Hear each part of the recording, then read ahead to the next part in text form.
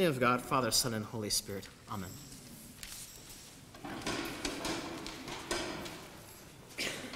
Happy Mother's Day to all of you mothers out there. Uh, there are, of course, lots of different kinds of mothers. There are those that, uh, that uh, for the traditional families, those in special circumstances, uh, single mothers, there are uh, stepmothers, mothers who step in, all kinds of mothers. And on this special day, once a year, we celebrate them, and they deserve it.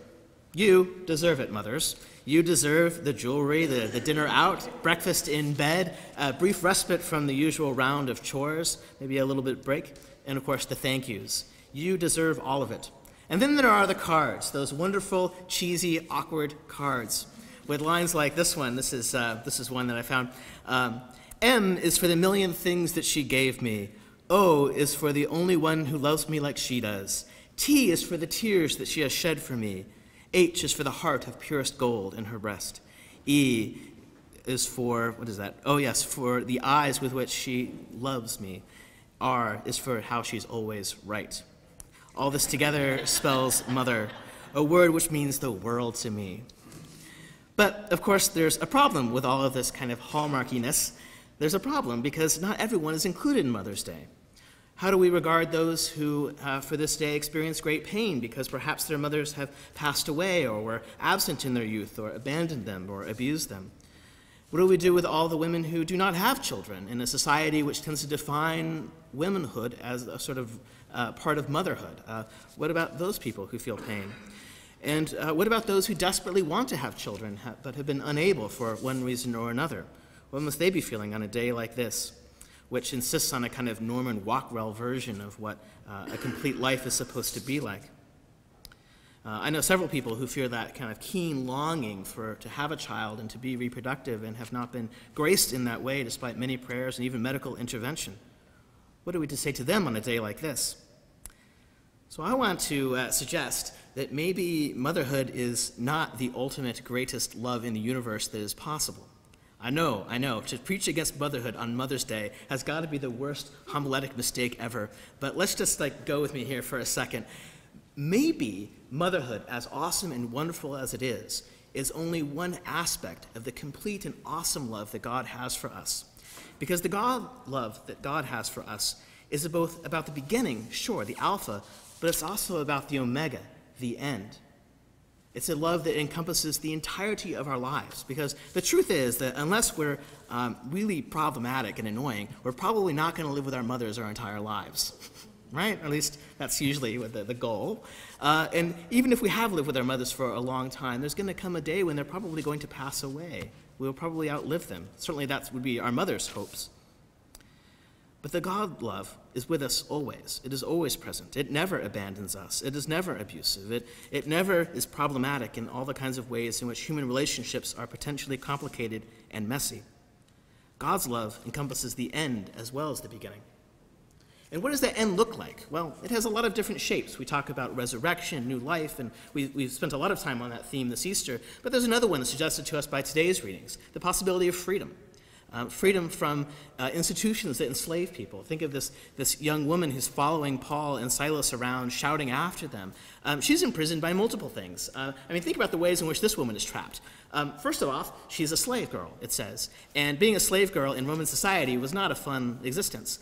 Not only that, but she was a fortune teller. She had this occupation that she, it's very unclear about whether she was really free to pursue this or whether this was something that was pushed upon her.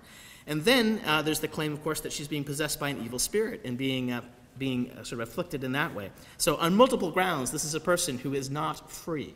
She is not free. But, partly because she annoys Paul in the way that she does, he turns around and he heals her in the way that he does. And this causes a minor controversy, but also sets her free from at least one of the things that had imprisoned her. And so, for that, ironically, he himself is thrown in prison.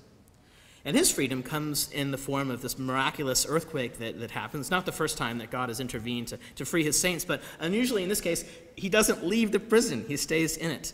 Uh, this is an example, by the way, of, of kind of uh, nonviolent resistance in a way, which is very interesting. Uh, the fact that he doesn't just jog out of, that, out of that prison as soon as he can, but remains there, is a critical catalyst for the conversion of this, of this soldier that's there guarding them, the prison guard. And what a wonderful conversion he has, falling at the feet of this man. Who, and, and why? I mean, it doesn't say that the guard experienced the earthquake and had this kind of fear or dread of the power of God that he was witnessing. It says merely that he's reacting to the, the uh, open gates and his concern that, oh my God, I'm probably going to be killed for this, you know, for neglecting my duty. But Paul saves his life, literally. And by doing so, actually also saves him in other ways too. So, what is it that's so shocking to this prison guard except to come into this empty prison and find the prisoners still there? And by the way, why are the other prisoners still there? I mean, it's evident that you know we can see why Paul might want to stay, but what about the other ones? Uh, presumably, the, the earthquake threw open all the gates, right?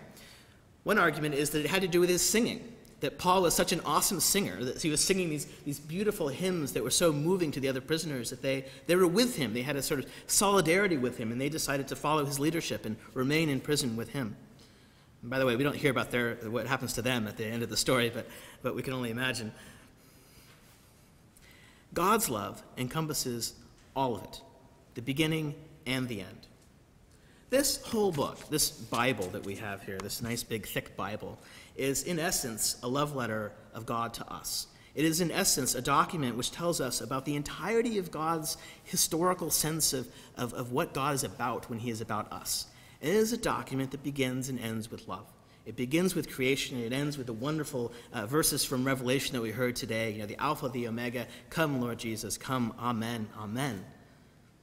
What a beautiful beautiful testament this is to a love that goes beyond just motherhood, which is awesome. Don't get me wrong. Apple pie, motherhood, beautiful. But there's something even greater a love that can encompass the entirety of our being, the beginning and the end. So, friends, on this Mother's Day, I, I I encourage you to reflect not only on the love that you have for your mother, and, and of course, do nice things for her today. Uh, you know, send her a card if you haven't already, or at least an email, you know, or something. Make that gesture of affection because you know, you know, not only does she deserve it, but you probably don't do it nearly enough. You don't call her enough. I'm telling you, you don't call her enough. So please do that. But also reflect on the way in which this is just a, a, a small piece of the kind of love that God has for us which not only speaks of the beginning to our lives, but of the end as well. Amen. So, as we customarily do, I'll open this up if anybody has anything they want to say in response to this.